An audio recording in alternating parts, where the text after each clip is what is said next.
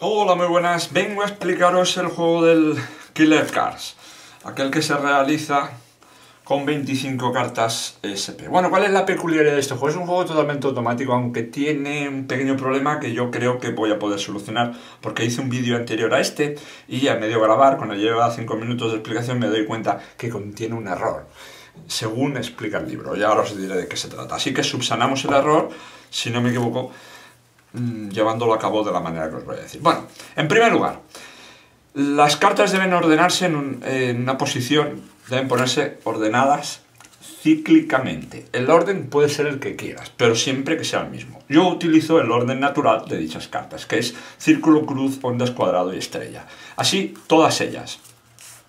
De manera que cuando tú enseñes las cartas a tu espectador, pues no le digas nada al respecto del orden. Así que si las quieres pasar así en cascada, para que él vea las cartas y las verá alteradas. Hombre, si hicieras una extensión tampoco se ve, porque como no se ven completas, no tiene índices, pues no se ve ningún orden concreto. Así que no hay ningún problema con este tipo de cartas. O se las muestras a montones, tú le dices que el juego pues es mm, realizadas con cartas SP, explicas una historia sobre ellas si lo deseas. La cuestión es que si utilizas la historia real del juego, pues son las cartas asesinas. Bueno, por lo tanto, le vamos a romper toda duda al espectador que le pueda surgir en el momento que le digas que él corte y complete. ¿Qué ocurre con el corte y completado de las cartas? El espectador, el más profano, siempre cree que cortar y completar rompe el orden. Eso nunca ocurre. Lo que siempre rompe un corte es la primera y última carta. Es decir, si había un orden cíclico, perdón, si había una primera carta y última, desaparece, pero no desaparece nunca el orden cíclico. Empieza por otra, pero siempre mantiene ese orden. Bueno, y cuando él decide detenerse, le pides que él eh, elija la carta que le queda a la parte superior. La extrae, la observa y el mago procede a retirar todas las cartas que van a ser las asesinas elegidas por el espectador. Teniendo en cuenta una cosa, que no debes romper el orden, es decir, extraerás todas y cada una de las cartas que, representan el mismo símbolo, pero fíjate en el detalle de que no rompes el orden, que lo mantienes para que siga siendo un juego automático. Ya no hay ninguna más, en total 5 cartas, se compone de 25, 5 símbolos diferentes. Por lo tanto, elegidas estas, cuando pases las cartas, hazlo de forma que tu espectador no vea que existe ese orden, que no se fije en ello mientras le explicas cualquier historia. Así que el siguiente procedimiento va a ser hacer dos montones. Puedes empezar de arriba a abajo como de abajo a arriba, da exactamente igual.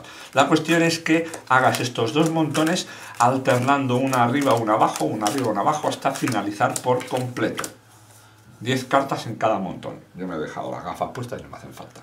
Bueno, aquí le pides al espectador que elimine o mate uno de los dos montones, como le hemos llamado las cartas asesinas, pues estas son los que eh, eliminan y hará libremente el de arriba o el de abajo, el que se le antoje. Da exactamente igual.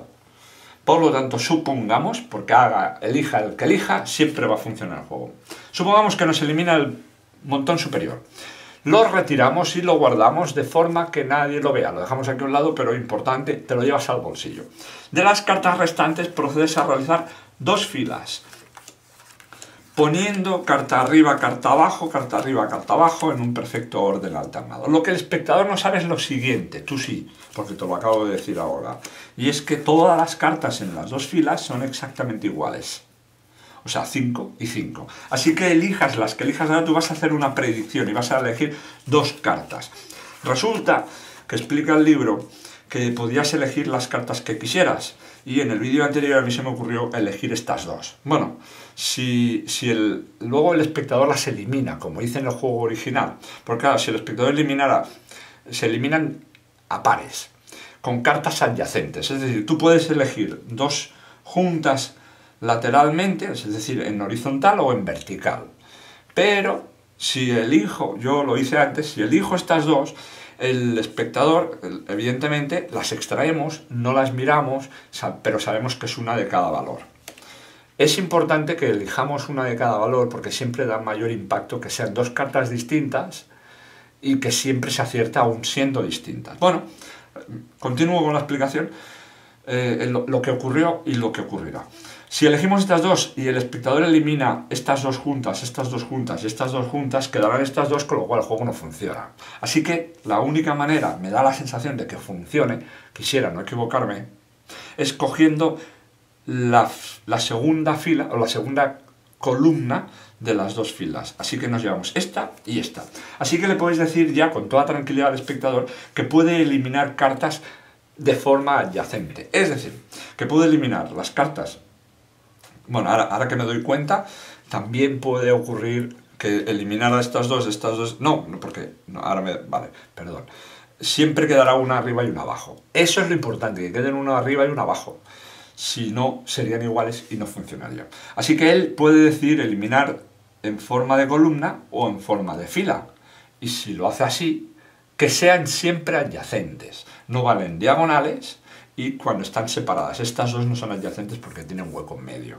Así que supongamos que el espectador elige estas dos, elige estas dos y elige estas dos. Podría elegir estas, estas ya no porque ya están eliminadas, podría elegir estas o podría elegir estas.